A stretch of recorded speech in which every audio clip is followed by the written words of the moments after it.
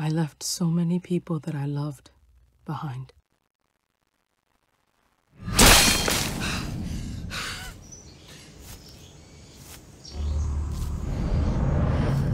So many that I can hardly remember them all.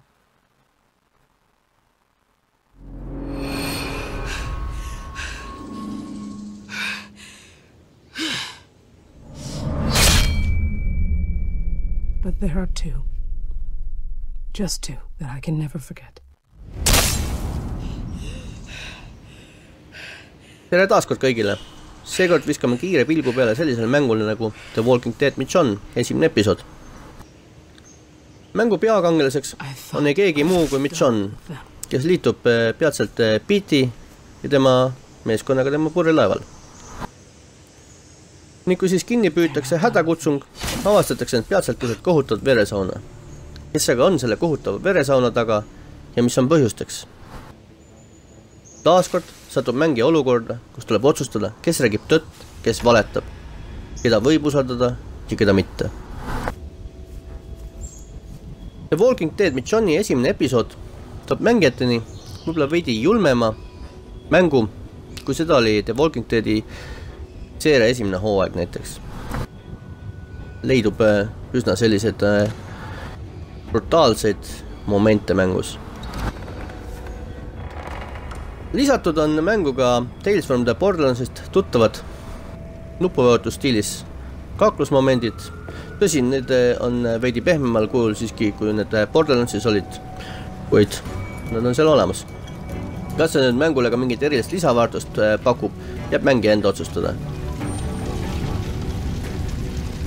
Kuigi paaril korral pakutakse mängijale ka sisukamaid ja pingelisemaid dialoogi, on dialoogide osa siiski üsna nõrk ja ei paku mänguloole piisavalt tuge kuid kuna tegemist on kiire ja lühikese sissejuhatusega mängu, siis võib selle mingil määral esimesele episoodile ka andeks anda. ning äh, eelvaatega tutvudes töötab järgmine episood juba tulla palju-palju intensiivsem. kahjuks jäävad mängus mõned kohad ka veidi arusaamatuks, mõned tehnilisemad kohad sellised näiteks mõned sellised hetked, kus sulle antakse märku, et eh, see või see tegelane jättis nüüd selle või selle asja meelde. just nagu nendest otsustest nüüd sõltuks hiljem midagi. samal hetkel, mõni hetk hiljem selgub peatselt, et nende tegelaste otsused või nende tegelaste arvamus ei mängi tulevastes episoodides absoluutselt mitte mingisugust rolli Äh, see jätab mulje, nagu oleks olnud algselt plaan äh, kogu see lugu hoopis teistmoodi jutustada. siis aga otsustati, et ei, ei, lähme hoopis teisiti edasi. ja sellised pisiasjad unustati ära parandada.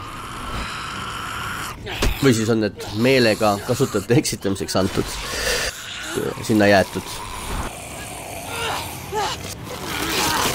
Antud episoodi põhjal on vara siiski veel mingeid konkreetseid soovitusi või hinnangut kogu seeriale anda tegemist on sellise lihtsa ja kiire sissejuhatusega kogu mängu.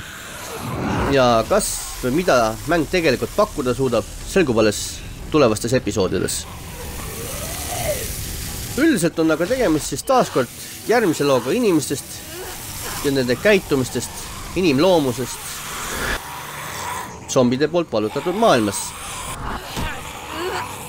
Teema, mida on tänaseks juba sajal erineval moel sadat igatpidi ära leierdatud.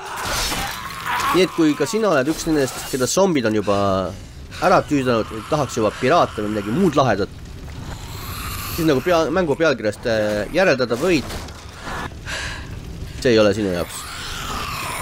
kui sa aga ikka veel ei ole zombidest tüdinud, zombid on sinu lemmikud, sulle meeldivad Telltale mängud ja Mission on ka sinu lemmiktegelane The Walking Dead seeriatest, siis tasub see mäng kindlasti omale osta lapsevanematele infoks nii palju, et The Walking Dead Mission on märgistatud PEGI kaheksateist pluss reitinguga, mis viitab siis sellele, et mäng ei ole soovitatav alla kaheksateist aasta vanustele äh,. ise lisaks siia juurde, et kuigi mängus on selliseid jõhkramaid momente kui tavaliselt, usume siiski, et umbes nii neljateistkümnest eluaastast võib seda mängu mängida küll.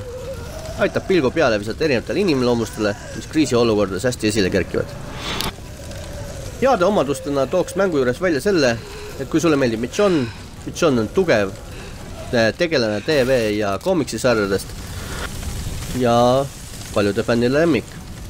Endale meeldib mulle muusikavalik, mis selle mängu juures on.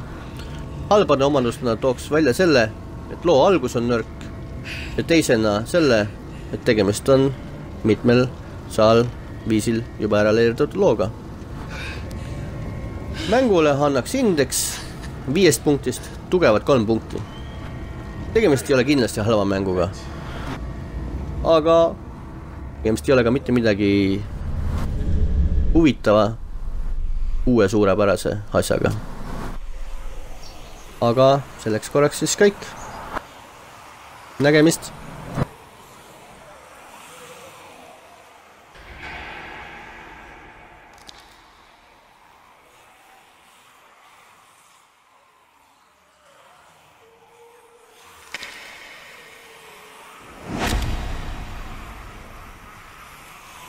Some days I envy the dead.